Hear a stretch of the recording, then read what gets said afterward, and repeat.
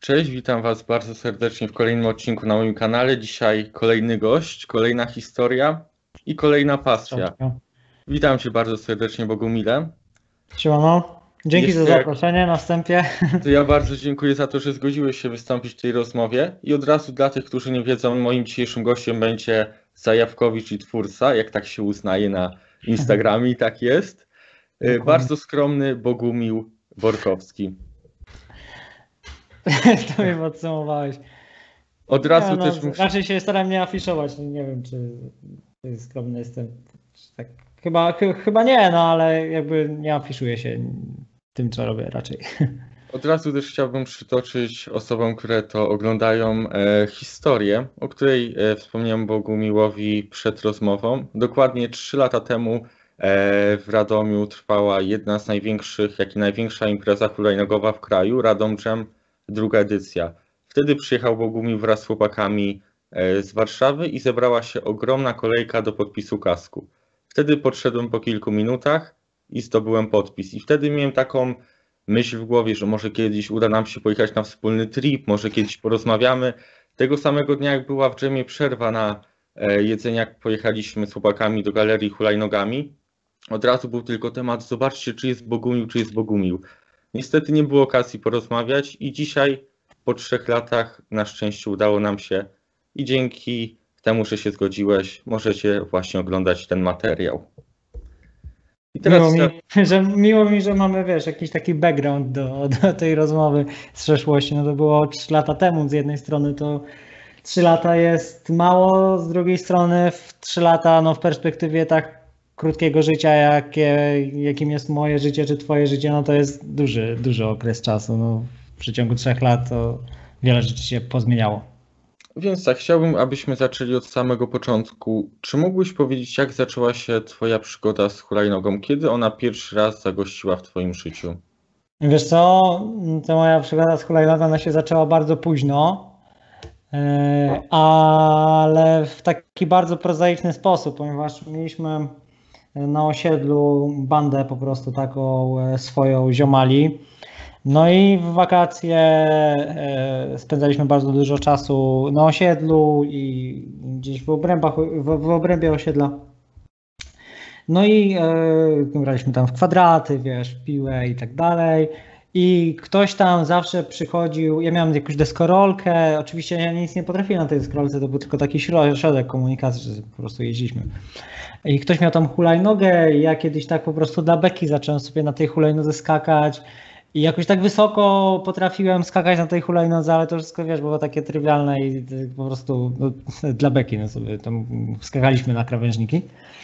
I y, później się okazało, ja wtedy miałem, nie wiem, ze 14-15 lat. I później się okazało, że e, kolega e, kolegi, który nie jest z osiedla, tylko tam z innej dzielnicy, ma taką hulajnogę, która jest do skakania, nie? I kiedyś na niej przyjechał, to był Razor w ogóle sprowadzony ze Stanów Zjednoczonych, bo wtedy nie było hulajnog w Polsce takich dostępnych jak są dzisiaj. No i ja zobaczyłem tą hulajnogę, mówię, ja pierdzielę, nie? No i rok później, e, bo ja nie, nie, nie wychowałem się w takiej rodzinie, gdzie wiesz, masz zajawę, nie, i od razu są pieniążki, raczej musiałem sobie sam na to zarobić.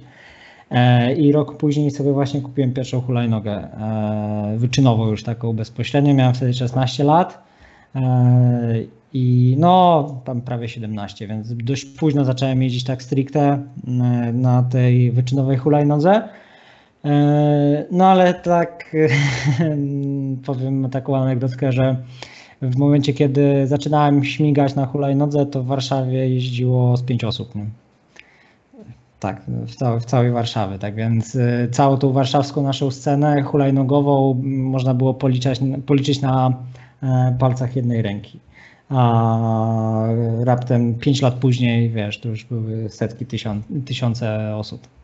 A na początku co sprawiało Ci największą trudność? Czy to była ta liczba e, tych pięciu osób w całej Warszawie, czy może e, coś takiego konkretnego, jakiś konkretny trik? Coś to tak, e, co najbardziej wspominasz jako taki kamień milowy właśnie tej hulajnogi? Wiesz co, czy ty mówisz, że sprawiało trudność, a kamień milowy, to jakby chyba dwa oddzielne terminy są. Coś, co sprawiało trudność. Nie wiem, stary, wiesz, tutaj ciężko, ciężko powiedzieć, co kiedyś sprawiało trudność. No, nie było skateparków na przykład. Była Jutrzenka i poza Jutrzenką w zasadzie nic nie było. Dopiero tam w 2013-2014 roku zaczęły się pojawiać jakieś inne skateparki. To już było, wiesz, 3-4 lata, jak już jeździłem na tej hulajnodze. Mhm. Um, to, było, to była taka trudność. Drugo, drugim problemem było, było w ogóle była dostępność e, części, dostępność hulajnóg, bo ich po prostu nie było. No nie? Ten sprzęt, który był wtedy, no to dzisiaj jakbyś popatrzył na ten sprzęt, który kiedyś uważaliśmy za zajebisty, no to byś pomyślał, że to jest jakiś krab totalny, no nie? No bo in, inaczej to wyglądało, ale też my sobie nie wyobrażaliśmy, stary, bo nie było perspektywy takiej jak teraz, że dzieciaki zaczynają sobie śmigać, wiesz, i e, jeden z drugim robi tam dwa kiklesy, buttercupy i widać, że ma jakiś talent e, i coś z niego będzie i oni już wiedzą, że dobra, jak będą się starać, będą dawać klipy na Instagrama, to może jakaś marka się nimi tam zainteresuje i może jakoś to pójdzie, więc dzisiaj już te, te, te szlaki są jakoś tam przetarte, a kiedyś to było tak, że po prostu jeździliśmy stary, nikt by w życiu nie pomyślał o tym, że, e, że ktoś będzie miał jakiś sponsoring albo że ktoś będzie nagrywał filmy na YouTubie, no to, wiesz, jakaś, to, to nawet nie była abstrakcja, bo o tym się po prostu nie myślało. Po prostu śmigaliśmy sobie na jutrzęce, czy gdzieś tam na jakichś e, spotach, głównie na jutrzęce, E, czy to było lato, zima, mróz, czy upał, no to śmigaliśmy po prostu i było takie magiczne, bo nikt nie przykuwa uwagi do jakiegoś głębszego sensu tego sportu, po prostu sobie jeździliśmy tak e, takie lekko duchy po prostu. To miło, kiedy, miło wspominam te czasy po prostu. A kiedy nastąpił ten przełomowy moment, w którym E, wiele osób zrozumiało, że hulajnoga to może być sposób na życie i że to może być e, ogromny potencjał, który się w tym kryje. Pamiętasz dokładnie ten moment? Hmm, powiem Ci, że nie jestem Ci w stanie powiedzieć, czy ja miałem taki moment przełomowy, mm, taki punkt zwrotny, kiedy stwierdziłem, że o kurczę, z tego rzeczywiście może coś być. Kiedyś zażartowałem do kolegów, E, I to było jeszcze przed takim powiedzmy boomem, że ej, zobaczcie, że kiedyś będziemy rozdawać autografy, nie? I oni się właśnie tak e, bekę sobie pocisnęliśmy z tego, no ale to się ziściło rzeczywiście. Um, ale ja od Wiesz, to, też jest tak, że ja nie patrzę na hulajnogę jak na sport olimpijski, wbrew temu, co, co wydaje mi się, że myśli teraz coraz więcej osób. Dla mnie to jest taki sport lifestyle'owy, wiesz, wychodzisz z ziomalami e, na skatepark czy na spoty, spędzasz tam cały dzień, siedzisz, e, jeździsz, e, odpoczywasz, śmiejesz się, jesz, pijesz, rozmawiasz, wiesz, nawiązujesz te relacje po prostu interpersonalne. To nie jest taki sport jak, nie wiem, tenis czy piłka nożna, że przychodzisz na trening, no nie? I, I to są takie bardzo lifestyle'owe sporty i ja ich, ja hulajnogi nie, nie postrzegałem nigdy jako sposób na życie, bo no, wydaje mi się, że to by było trochę nieodpowiedzialne, e, no bo to jest zawsze sport, prawda? I to jest jeszcze sport bardzo nie mainstreamowy, który E, wtedy, zresztą dzisiaj dalej nie daje takich możliwości, że możesz bez, bez problemu e, w tym sporcie mm, gdzieś funkcjonować i się utrzymywać, e, jeżdżąc, nie jeżdżąc z tego sportu, tak jak nie wiem, w piłce nożnej, że mm, jak byłeś piłkarzem, no to później możesz być trenerem, selekcjonerem jakiejś tam grupy albo menadżerem jakiegoś klubu i zawsze znajdziesz tą pracę. No to w hulajnodze to tak nie wygląda, dlatego ja nawet, wiesz, jeżdżąc na tej hulajnodze, E, nagle no, byłem bardziej zmotywowany na pewno z większą ilością osób, zacząłem wtedy funkcjonować, byłem bardziej zmotywowany do tego chociażby, żeby szkołę skończyć, a ja zawsze miałem e, z edukacją na bakier, e, w liceum szczególnie i wydaje mi się, że jakby nie hulajnoga, to raczej bym tej matury nie napisał. No napisałem maturę i skończyłem dwa kierunki studiów i zawsze miałem z tyłu głowy to, żeby nie, nie brać hulajnogi jako ten rdzeń swojego E, swojego dochodu, e, tylko po prostu zajawkę i, i starałem się, wiesz, zabezpieczać tak, żeby, żeby nie musieć myśleć o hulajnodze jako wyłącznie swoim dochodzie, pomimo tego, że e, no bez hulajnogi zdecydowanie inaczej moje życie by w tym momencie wyglądało i, i, i na pewno nie miałbym tyle wolności, więc ta hulajnoga daje mi wolność. Ale tak jak mówię, nigdy nie patrzyłem na nią jako po prostu źródło, źródło dochodu. I, I też wydaje mi się, że to jest taki odpowiedni sposób patrzenia na tak lifestyle'owy sport jak hulajnoga, więc nawiązując do, e, odpowiadając na Twoje pytanie, no to nie, nie miałem takiego momentu, że powiedziałem sobie, o kurde, wchodzę w hulajnogę na 100%, 100%. No bo nigdy nie wszedłem w hulajnogę na 100%, bo zawsze poza hulajnogą były jeszcze studia, była jakaś inna praca, i, I wydaje mi się, że to jest właśnie ten odpowiedni kierunek, w którym powinien iść e, rider, z tego względu, że E, no niestety nie, nie, nie każdy idzie w tą stronę i niektórzy na przykład rzucają szkołę, żeby jeździć na hulajnodze albo e, nie kończą jej, nie przykładają się do tego, nie przykładają się do ogólnie nie wiem, zabezpieczania się na różne, różne sytuacje, no a w tej hulajnodze biorąc pod uwagę, że to nie jest taki konwencjonalny sport, nie masz tylu możliwości, perspektyw po prostu e, rozwoju, że może być tak, że skręcisz sobie kostkę, nie wiem, połamiesz, e, nie wiem, zerwiesz więzadła w kolanie i się okaże, że a, no nie masz pieniędzy na, na naprawę swojego zdrowia, dwa, że po prostu no, nie jesteś w stanie dalej kontynuować i nie wiem, prowadzić szkółek, czy dostawać pieniędzy od jakiejś tam firmy, która cię wspierała i rzeczywiście ci płaciła jakieś tam pieniądze, chociaż takich osób, które dostają pieniądze za samą jazdę, to można było policzyć na palcach jednej ręki i to też nie są takie pieniądze, które by, wiesz, pozwalały godnie żyć. Mhm. A co daje Ci taką e, największą zajawkę w jeździe na hulajnodze? Bo wspomniałeś o tym, że to jest e, nie jako sposób na życie, ale takie e, jakby wyjście z tego świata, odreagowanie, e, po prostu wyjść ze znajomymi, pojeździć. Ale co sprawia Ci największą zajawkę i jak definiujesz ten sport? Czym on dla Ciebie jest? Hmm, to ciężkie, ciężkie takie pytanie. Wydawałoby się trywialnie proste, ale zdecydowanie takim nie jest. Nie wiem, czy potrafię zdefiniować ten sport. Naprawdę, jest, czy, czym on jest dla mnie? Dla mnie, jeżeli pytasz, co mi sprawia największą frajdę i dlaczego w ogóle dalej to robię, no to yy, dla mnie najważniejszy w sporcie jest czynnik ludzki. I dopóki mam z kim jeździć, dopóki mam spędzać z kim czas, yy, z kim właśnie pośmigać, pośmiać się, pogadać, no to będę jeździł, no bo ten czynnik ludzki jest dla mnie bardzo ważny, bo ja nie jestem, wiesz, takim introwertykiem, który by tam siedział i, i po prostu sam ze sobą spędzał czas, bo ja zawsze potrzebuję tych ludzi dookoła siebie. E, I tak, no czynnik ludzki, to, to jest ten naj, największy motywator po prostu mój, e, mój do jazdy. Mhm. A w tym momencie jak oceniasz e, polską scenę hulajnogową? Na jakim ona stoi etapie względem scen e, zagranicy naszego kraju? Wiesz co, mm, każda scena ma jakieś tam swoje cechy charakterystyczne. Też nie będę e, się wypowiadał jako ekspert, bo nie wiem, nie mieszkam we Francji, nie mieszkam w Niemczech. Mogę co najwyżej obserwować sobie te sceny. I takie wnioski, które ja, obserwacje bardziej, obserwacje, które E, ja tutaj zauważyłem, no to przede wszystkim e, polska scena jest zdecydowanie młodsza niż sceny na przykład takie francuskie. Wiesz, w Polsce ja mam 26 lat i jestem najstarszym czynnie jeżdżącym riderem. A we Francji no to byłbym takim, no kurde, małolatem trochę, nie?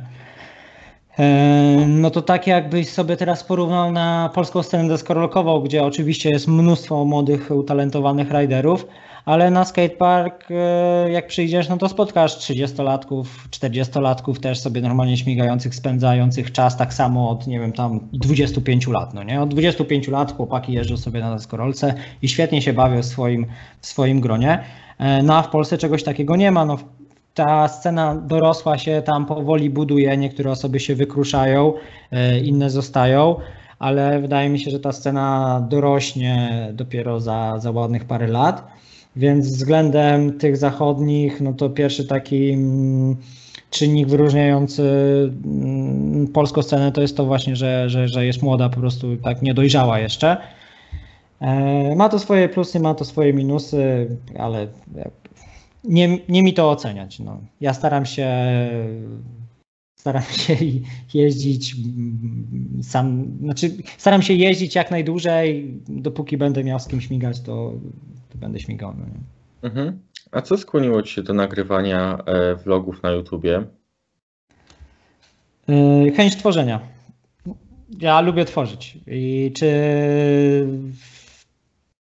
to jest, znaczy filmy, tworzenie filmu, do tworzenia filmów to głównie mnie zmotywowały, nie wiem czy znasz na przykład takiego e, youtubera jak Casey Neistat. Mm, nie, niestety nie znam. No to jest taki gość, który no, można było powiedzieć, że wymyślił vlogi, taki Amerykanin. Um, I już jeżdżąc na hulajnodze, yy, oglądałem po prostu na YouTubie, tej treści zawsze konsumowałem dużo po prostu na YouTubie, e, przed tym jeszcze jak zacząłem nagrywać i oglądałem jego vlogi, które filmy robi fenomenalne, bardzo takie interesujące do dzisiaj, chociaż one są e, bardzo proste, ale zajebiste, bardzo takie, wiesz, atrakcyjne wizualnie. I myślałem właśnie, że kurczę, fajnie by było kiedyś nagrywać coś podobnego. No i tak właśnie jakoś zacząłem nagrywać i, i, i tak los chciał, że jakoś mi tam zaczęło wychodzić w pewnym momencie. Oczywiście to jest taka sinusoida, że raz wychodzi, raz nie wychodzi i wydaje mi się, że e, hulajnoga aktualnie przeżywa dość mocny kryzys w Polsce Mam nadzieję, że to jest tylko chwilowa sytuacja związana właśnie z, no, z wychodzeniem z tej pandemii. No ale, ale mogę to zaobserwować i jest to troszeczkę martwiące. No ale trzymam kciuki, że, że będzie lepiej. Ja też trzymam kciuki, że wróci ta scena, e, ten obraz, który był nawet e, wcześniej wspomniany te 3 lata wstecz. Wiesz co, najfajniejszy, najfajniejszy rok to był 2019, gdzie oczywiście w 2019 nie zdawałem sobie sprawy, że jest zajebiście. Po prostu wyrobiłem swoje i myślałem, że brałem za pewnik, że już tak będzie, że wiesz, będzie taki cały czas wzrost. A to się okazało w 2020, że życie zweryfikowało niestety. I w tym roku, wiesz, mam mam bezpośrednie przecieki, informacje od y, sklepów, y, że jednak ta sprzedaż y, mocno spadła. Widzę to też po swoich statystykach na YouTubie chociażby, że spadła. Widzę to po statystykach innych kanałów, że zainteresowanie tym sportem, jak i innych sportów też spadło. E, mówię tutaj o takich skateparkowych sportach. Jest to martwiące, no ale tak jak mówię, mam nadzieję, że to jest tylko taki, e, taka chwilowa sytuacja i że to się odbije, no bo no nie wyobrażam sobie innego scenariusza po prostu. To jest, to jest zbyt zajebista zajawka, żeby, żeby sobie w tym momencie, wiesz, umierała. A czy potrafisz powiedzieć, e, co może wpłynąć w najbardziej znaczący sposób na odbicie się, tak pozwolę sobie to nazwać, tego dna teraz, co dostrzegam przed, przez pandemię właśnie?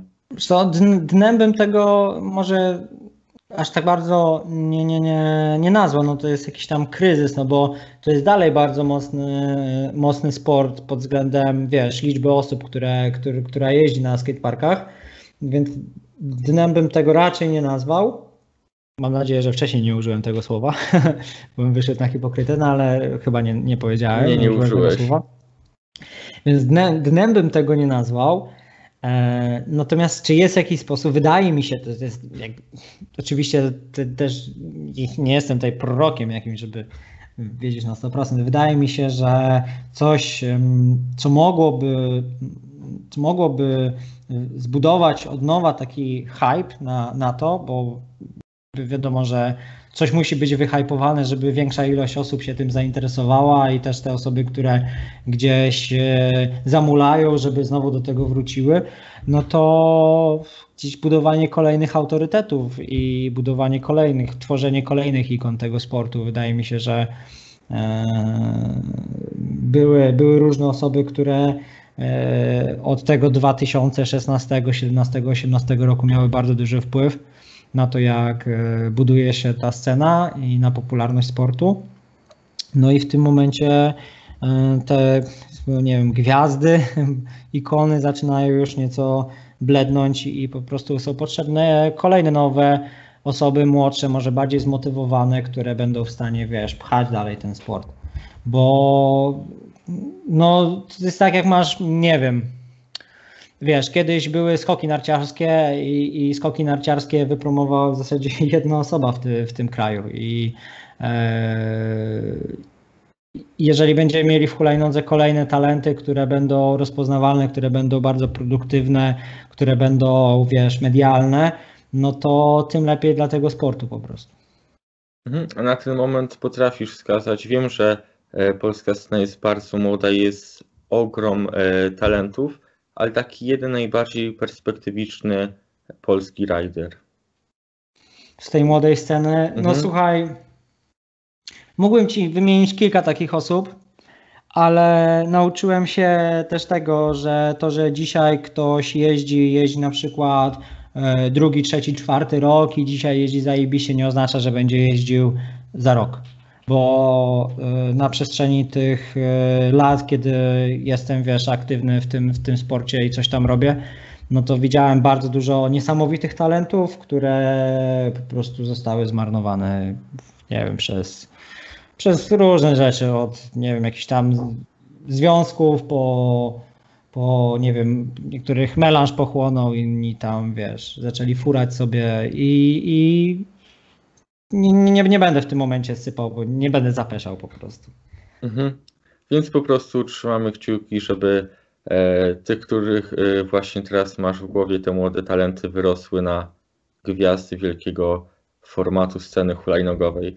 I teraz od tak, razu ale przede wszystkim, mhm. przede wszystkim jak ktoś Y, już wiesz, zaczyna być rozpoznawalny na tej scenie, to też musisz sobie zdawać sprawę z tego, że to jest odpowiedzialność, bo y, oczywiście możesz być na przykład hamem, no nie? Możesz być hamem dla każdego na skateparku, no ale to jest też, wiesz, taka wizytówka, którą zostawiasz po sobie i później te osoby też będą nieco sport widziały przez pryzmat twojego zachowania.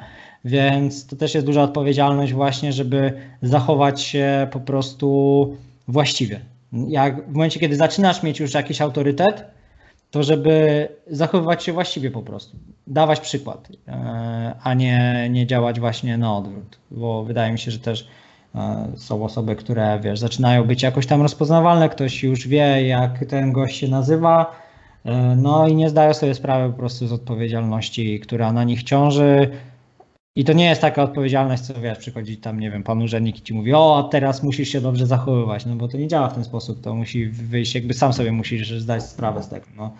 Ja, wiesz, też kiedyś robiłem głupoty i robiliśmy głupoty na skateparkach i przeróżne rzeczy, po których dzisiaj nie ma śladu oczywiście, bo sprytnie i, i, i skutecznie, prawda, ślady trzeba zacierać z jakiejś tam swojej działalności. E, no ale też sobie musiałem zdać sprawę, że ej kurczę, już niektóre zachowania, wiesz, nie, nie są ok, no nie? I, i trzeba dawać, dawać przykład. Oczywiście też zmieniłem wiele w, w swoim zachowaniu, bo człowiek dorasta. Mm, no ale z perspektywy starszego ridera, no widzę to po prostu, że ludzie nie czują e, do końca odpowiedzialności za swój wpływ w ogóle na, na innych. I jak ktoś osiąga jakiś fajny poziom i fajny poziom rozpoznawalności, to powinien mieć to z tyłu głowy. Mhm. A na ten moment jakie jest Twoje największe marzenie związane e, z hulajnogą? Nie mam. nie wiem. Nie wiem, stary. No jeździć, jeździć jak najdłużej i mieć z kim jeździć i móc, móc tworzyć. Chciałbym, żeby ten sport się rozwijał, rozwijał i nie przestało się rozwijać. Po prostu. I chciałbym, żeby to takie marzenie, marzenie dość złożone. No, na pewno chciałbym, żeby było dużo fajnych, kreatywnych osób, produktywnych osób i odpowiedzialnych osób e, w, w naszym sporcie i wiem, że wtedy będzie rósł bardzo i, i ogólnie będzie taki konkretny. Mhm. I teraz od razu pytanie od e, Gerarda z Grusa, którego serdecznie pozdrawiamy. A tu mamy Jak jeszcze pytania, tak? Od, od widzów. E, Tak, właśnie tutaj jedno pytanie, bo bardzo też mnie e, zaciekawiło. Jak wygląda od strony technicznej e, organizowanie ko- konkursów ze Skate Pro, na przykład konkurs na mikołajkowy set? Ach, Jak to się zaczęło, że akurat... konkursy, takie giveaway to jest ciężki temat ogólnie, bo dopiero nawet e, młodsi riderzy związani ze Skate Pro, których em, wiesz, jak wprowadzam w te techniczne zagadnienia organizacyjne, właśnie takie giveaway, to też mówią, że w życiu by się nie spodziewali, że to jest takie upierdliwe po prostu. Mm, Ale jeżeli pytasz o tym, jak to się zaczęło, to tak, że em, Skate Pro zaproponowało, żebyśmy zrobili coś takiego. To w przypadku ty, tego giveawaya mikołajkowego to był ich pomysł. W przypadku tych giveaway takich e, z tymi mm, recenzjami, no to to już był jakby mój pomysł.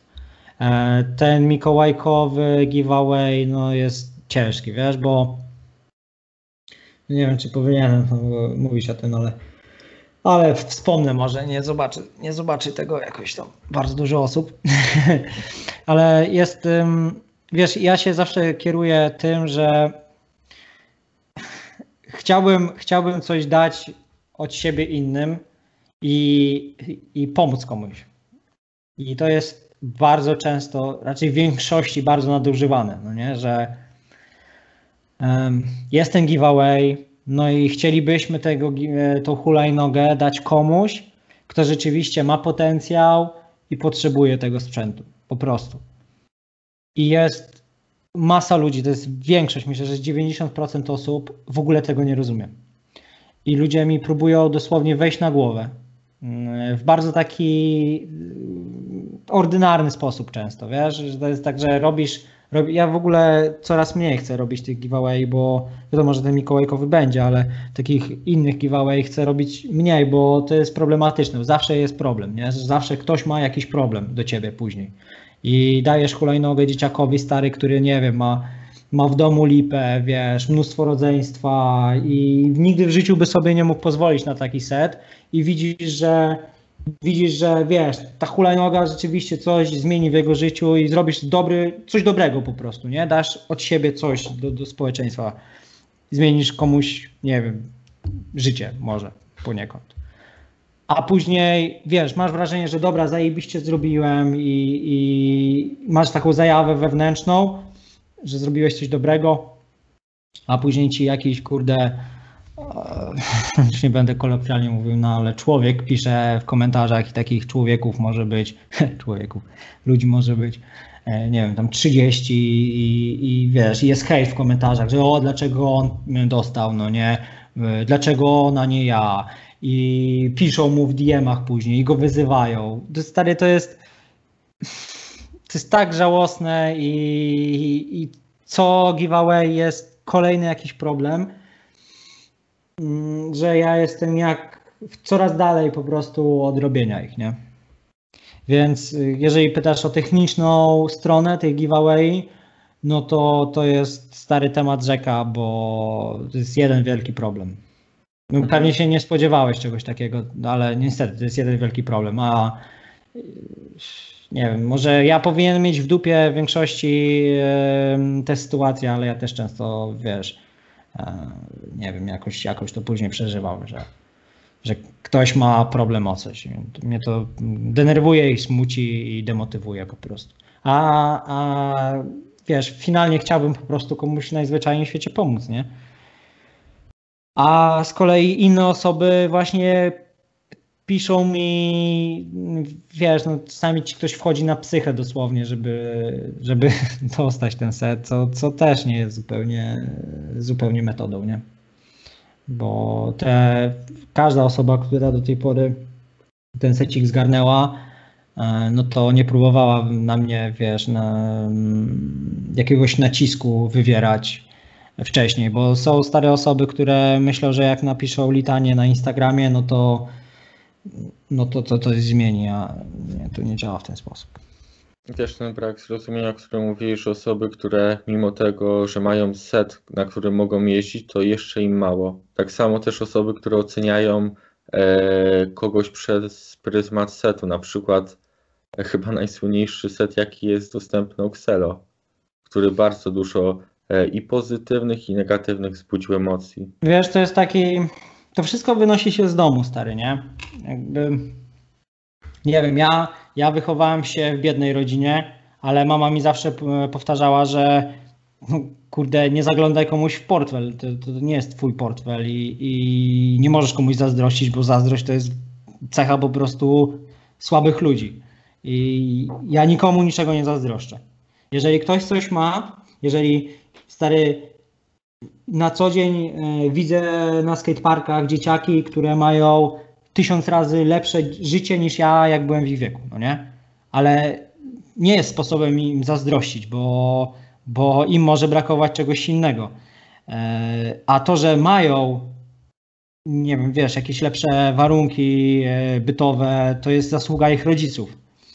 I to tak, jakbyś zazdrościł komuś, że ciężko pracuje. To jest, wiesz, dla mnie to jest zupełnie, zu- zu- zupełnie abstrakcyjne i to jest taki przekrój społeczny, że wśród dorosłych ludzi są te same zachowania, że jeden ma, jeden jeździ starą Toyotą, a drugi jeździ nowym, e, nowym Audi, no nie? I ludzie sobie zazdroszczą i ludzie, e, ludzie gadają, co, co, co jest chore, bo nie, nie powinno się po prostu komuś zaglądać w portfel. Jeżeli ktoś coś ma, to znaczy, że na to zarobił, wiedział jak, wiedział jak pomnożyć złotówkę, żeby było, żeby ze złotówki zrobiło się 5 złotych i chwała mu za to. I nie jest istotne, czy masz zajebisty set i nie masz skilla, czy nie masz setu, a masz skilla, to nie jest w ogóle istotne. Wiadomo, że jeżeli ktoś ma, ma talent, ale nie ma hulajnogi, no to warto mu pomóc. No ale nie jest metodą wyzywanie kogoś, bo, bo, bo po prostu ma set, ale nie ma skilla. No, to, to po prostu zło, zło zawsze będzie generowało zło i, i nie powinno się tak zachować. Dla mnie to jest opór słaby. Ja pamiętam, e, właśnie teraz mi się przypomniała sytuacja ze skateparku bodajże w Pionkach lub w Grójcu, e, gdzie naśmiewali się z chłopaka, którym jeździł na Oxelo i później zbliżał się czas po dwóch godzinach jazdy, gdzie zaczęliśmy grać w skuta. I triki pokroju Inward, e, Bri. Nikt nie wiedział, e, co on robi, ale wygrał. I wtedy właśnie tak mi się wzięło, że po pierwsze sprzęt, a drugi umiejętności, żeby nie oceniać zbyt pochopnie, bo można bardzo kogoś skrzywdzić tym. Zgadzam się, całkowicie. To są, to są ciężkie tematy ogólnie i one wychodzą, wiesz, na skateparku widzisz e, cały przekrój społeczny, bo są ludzie, e, są ludzie zamożni, są ludzie niezamożni, są ludzie wychowani, są ludzie niewychowani. Ym, No i wiesz, często nie wiem, zwracanie uwagi, próba, próba w ogóle edukowania niektórych, no to jest jak walka z, wiatr, z wiatrakami. Z drugiej strony, no to ja też e, często na przykład spotykam się z czymś takim, że ktoś mi mówi, że ej stary, powinieneś, czasami, e, znaczy w sumie czasami, najczęściej to są rodzice, no nie, że ej słuchaj, bo powinieneś powiedzieć na vlogu, na filmie, e, że nie wiem, e, zwrócić uwagę na to, że dzieciaki nie powinny się wyzywać. No nie, na skateparku albo nie powinny się z siebie śmiać, albo coś takiego. No i z jednej strony ja się zgadzam, no bo jakiś tam autorytet mam, ale z drugiej strony, do jasnej cholery, to jest kwestia rodziców. Ja nie jestem od wychowywania nikogo, ja nie jestem od pouczania, stary. Ja, ja jeżdżę na hulajnodze, jestem takim samym użytkownikiem skateparku jak każdy inny. I z jednej strony mam odpowiedzialność, bo mam wpływ na opinie innych, ale z drugiej strony, no, w tak tam mentalnych rzeczach jak wychowanie, no to nie powinienem w ogóle brać udziału. Jeżeli dzieciak przychodzi na skatepark, e, a też często to nawet, wiesz, nie dotyczy dzieciaków, tylko już chłopaków, którzy, wiesz, mają tam po 16-17 lat, nie? bo oni tak, tak samo się potrafią zachowywać często i, i, i wyzywa innego ze względu na stan posiadania, no to stary, to jest fundamentalny jakiś błąd popełniony przez rodziców, a ja nie, ja nie jestem zobligowany e, do tego, żeby takiego człowieka korygować. Nie? Ja tu mogę zareagować, jeżeli widzę, że coś już naprawdę grubo i zwrócić uwagę, ale no nie, nie, nie, nie czuję się tutaj, wiesz, zobligowany do tego, żeby ludzi moralizować gdzieś na filmach. Nie? Ja, ja już w ogóle, stary, mam tą serię, no nie, z, kask- z glebami na hulajnodze. Nie wiem, czy, czy pewnie widziałeś.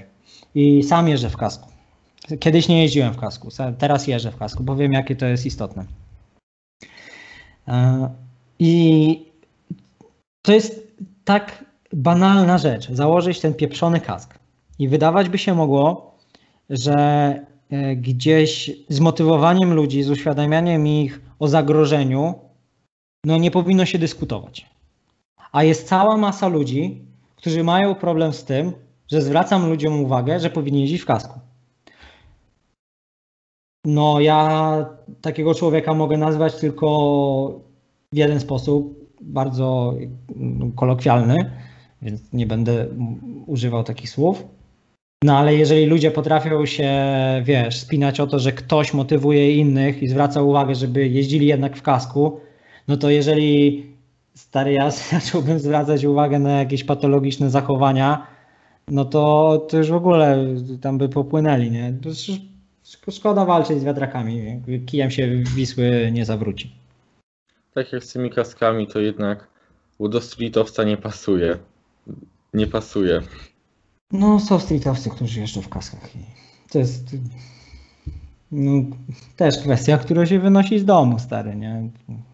Ja, ja będąc, będąc rodzicem, no nie wyobrażam sobie, żebym pozwolił na to, że moje dziecko ryzykuje życie jeżdżąc bez kasku, nie? Bo możesz się poskładać, możesz, wiesz, uszkodzić sobie głowę jadąc chodnikiem, nie? No, kurde, rob, robisz manuala i możesz walnąć tak głową, że się mano. Ja widziałem takie, takie sytuacje, gdzie ludzie robili jakieś w ogóle głupie rzeczy, wiesz, prozaiczne, gdzieś tej whipa na flacie i rozcinali sobie głowę, nie? Przez jakieś głupie potknięcie. Albo, nie wiem, też często jest na skateparku, że e, Zdarza, zdarzają się takie sytuacje, że ktoś macha, nie wiem, kręci buttercupy sobie, no nie? Tak stoi i sobie kręci buttercupy. I też widziałem sytuację, gdzie ktoś dostał w łeb, nie? Dekiem. I miał rozciętą głowę. No kurde, wystarczyło mieć kask na głowie na skateparku, nie? No wystarczyło oczywiście nie machać buttercupów, ale szczerze, jednak mimo wszystko skatepark to jest takie miejsce, gdzie, gdzie ten kask powinien być i nie tylko na skateparku, oczywiście na, na streetach tak samo. A to, że masz kas na głowie, to jest oznaka tego, że po prostu masz świadomość, jesteś odpowiedzialny, a nie, że nie masz stylu. To jest, to jest kolejna, wiesz, jest taka głupota, która po prostu gdzieś krąży w tym środowisku. Ale to wszystko jest do czasu. Ja też tak zawsze mówiłem, że w kasku to niebo nie pasuje do szerokich spodni, szeroka koszulka, stylówka, secik nowy, ale jak e, po jednym railu już się przekonałem, że rzeczywiście kask to jest podstawa i od tego czasu nigdy w życiu już nie skoczyłem na rurkę bez kasku, bo wiem jak to się Ja powiem, skończyć. powiem ci coś, do czego pewnie wrócisz kiedyś. No bo zobacz, to jest sport wyczynowy. I no, statystyki nie, okłam, nie okłamiesz. Dużo, dużo jest wywrotek, dużo jest wypadków. W końcu ktoś się popsuje. I popsuje się może i nawet ktoś ze sceptyków, tych kaskowych sceptyków. I dopiero w momencie, kiedy ktoś straci życie, ktoś młody straci życie na hulajnodze bezpośrednio, to może inni otworzą oczy. Na jakiś czas, bo później znowu je zamkną. Sytuacja z Kalisza, gdzie chłopak y, stracił życie na rowerze w tragiczny sposób. E, no co, no jakby nie wpłynęła na to, że wszyscy jeżdżą w kasku dzisiaj. A może dlatego, że to nie był chłopak na hulajnodze, tylko na rowerze, o zgrozo. Nie wiem. Ale wiem, że prędzej czy później to się stanie i, i mam nadzieję, że to nie będzie nikt, kto jest mi jakkolwiek bliski. Bo jednak e, każdemu z rodziców, który kupił ten secik, który wie, że puszcza dziecko na skatepark, pójście na skatepark, zobaczenie zniczy przed rampą, to dla nikogo nie jest to dobry widok. A tylko no, to wystarczy jest, kask y, założyć. To jest zupełnie niewyobrażalne. Tamta, tamta sytuacja jest. Nigdy jej nie, nie, nie, nie, nie skomentowałem chyba nawet, ale dla mnie to jest coś niewyobrażalnego, przerażającego. No, sam wiele razy byłbym w niezłych tarapatach, gdybym tego kasku nie miał, więc ja go zawsze zakładam, jak jeżdżę. Ewentualnie tylko jak jeżdżę po, nie wiem, gdzieś się tam przemieszczam, jadę sobie do sklepu ze skateparku, to jadę bez kasku, no nie. Ale to jest jazda po ścieżce rowerowej. No i tyle. Ale na skateparku, jak robię jakiekolwiek triki, to zawsze mam ten kask na głowie. I polecam. Tylko wystarczy kaski, czy na rowerze, czy deskorolka, czy hulajnoga nie ma. To jest, powiedzmy, wrzućmy to do jednego e, worka. To jest to samo, jeśli chodzi o ryzyko. Czy na rowerze, czy hulajnoga. Różnią się te sporty e, swoją jakby budową sprzętu, a jednak ryzyko jest to samo. Bardzo podobne. No jest, jest ogromne ryzyko. Wiesz, wie, coś, co, z czego ludzie też nie zdają sobie sprawy, to ludzie, jak nie wiem, em, wyobrażają sobie, że uderzą głową i albo coś im się stanie, albo im się coś nie stanie. Kurde, rosyjska ruletka, no nie? Naprawdę jest taka, że urazy głowy wychodzą po latach i gość, który, nie wiem, tam 5 lat temu strzelił trzy razy banią w beton, nagle może zacząć, nie wiem, mieć jakieś zaburzenia wzroku. No nie? Albo, albo jeszcze gorsze rzeczy, czy nie wiem, jakieś tiki, albo zaburzenia w ogóle, wiesz, pracy, pracy mózgu taki ogólnie, nie wiem, czy to, czy będzie się od, odnosiło zmysłów, czy jakiejś, e, nie wiem, zdolności intelektualnej. I ludzie sobie z tego nie zdają sprawy że to, że dzisiaj walną głową, może wyjść za kilka dobrych lat i bardzo im e, po prostu popsuć życie. I takie przypadki też znam e, wśród, e, wśród riderów w Polsce, gdzie ktoś pieprznął głową i dzisiaj widać skutki po kilku latach. No. Ale oczywiście, ale oczywiście jazda w kasku dla, dla wielu osób dalej jest bez sensu i bezstylowa. Spoko. Nie? Ale jednak warto wrócić z tego skateparku, żeby to się tylko nie skończyło na jeździe w jedną stronę i później zostawienie wielkiej pustki po sobie. Więc przede wszystkim załóżcie ten kask, jest fryzura wam się zepsuje, ale co, ale życie będzie uratowane. Ile razy lepiej, żeby kask pęknął, Nie. żeby... W ogóle nie powinniśmy stary rozmawiać o tym, to było, powinno być to oczywiste dla każdego. oczywiste, że wchodzi się na skatepark kaski, tyle. Dokładnie. Chociaż pocieszające jest to, że dużo małolatów jeździ w kaskach. Że ci, ma, że ci, którzy gdzieś wychowują się, nie wiem, chociażby na moich filmach, no to już te kaski łatwiej zakładają, nie? Właśnie twoje filmy bardzo też to e, wprowadziły, że te kaski i e, też wcześniej jak zaczynałeś nagrywać, to osoby, które teraz są starsze, były e, w takim wieku skuter kidów i już ten kask został na długo, tak jak na przykład u mnie. No to cieszę się. Cieszę się.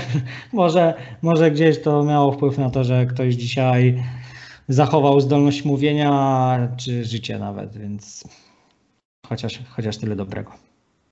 Zbliżamy się do końcówki naszej rozmowy, więc chciałbym, abyś teraz się odniósł do tych młodych osób, e, które e, nas oglądają. Czym powinni kierować się młodzi, e, młode osoby rozpoczynające swoją przygodę ze sportem, z hulajnogą lub z innymi dyscyplinami? Uuu. No to mocne pytanie mi zadałeś, bo no bo ja nie jestem taką osobą, która ci powie, ej mordo, weź, skupiaj się na tym, żeby jeździć jak najładniej, nie? albo jak najlepiej, albo nie, ja nie jestem z tych osób. Ja mogę powiedzieć, na czym się skupiać.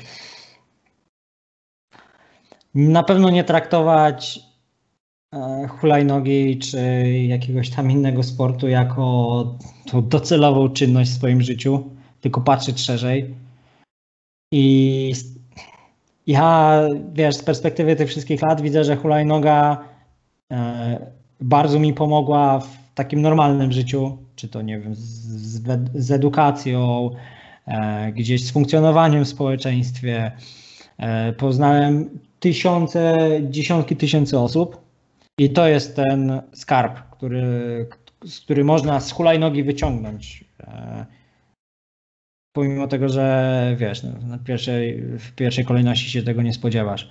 I to, co ja bym sugerował, to żeby właśnie będąc tej zajawce, uprawiając ten sport, oczywiście angażować się, jak najlepiej e, starać się jeździć, katować, e, włożyć w to serce, ale też patrzeć szerzej, jak ta zajawka e, będzie wpływała na Twoje życie i po prostu wyciągać jak, jak najwięcej tych pozytywnych aspektów z tego sportu. Więc już wszystko, co miało być powiedziane, zostało powiedziane, więc tylko Wam zostało zbierać owoce dzisiejszej e, rozmowy. Bardzo dziękuję Ci za udział w tej rozmowie, za to, że się zgodziłeś i za No, to, co tak. powiedziałeś, bo to są ważne treści, które e, trzeba cały czas powtarzać. Ja też chciałem jeszcze, wiesz, taki disclaimer na koniec oczywiście dodać, że ja nie chcę być, e, wiesz, e, tutaj e, brany jeden do jednego, wszystko to, co mówię, bo to są tutaj to jest wszystko, wiesz, przesiąknięte s- subiektywizmem i Mhm. ja mogę nie mieć racji. Może mam ją w kilku procentach, może w trzech czwartych, ale wcale nie jest zero-jedynkowe, że, że wiesz, że mam rację albo nie mam racji, a pewnie niektórzy będą, wiesz, próbowali to definiować jak mądrzenie się. Nie, ja tak jak powiedziałem, nie chcę występować w roli kogoś, kto moralizuje innych, e, mówi jak ma żyć, bo każdy sobie powinien rozkminić jak ma żyć i każdy powinien wiedzieć lepiej, co jest dla niego najlepsze. Ja daję wam tylko swoje po prostu takie przemyślenia, a co sobie z nimi tam zrobicie, to już jest wasza sprawa. Bardzo dziękuję za tą rozmowę. W opisie zostawiam Wam link do e, kanału Bogumiła. No i mam nadzieję, że jeśli będzie dobry odbiór, pomyślimy o jakimś kolejnym odcinku, jakiś tematyczny, więc tylko piszcie w komentarzach, co chcecie i wtedy e, będziemy o tym rozmawiali. Jeszcze raz bardzo Ci dziękuję za uwagę. Jeśli Dziękuję Wam się również. spodobało, zostawcie kciuka w górę i udostępnijcie, żeby ten filmik trafił do najszerszego e, grona odbiorców. Cześć. Strzałeczka.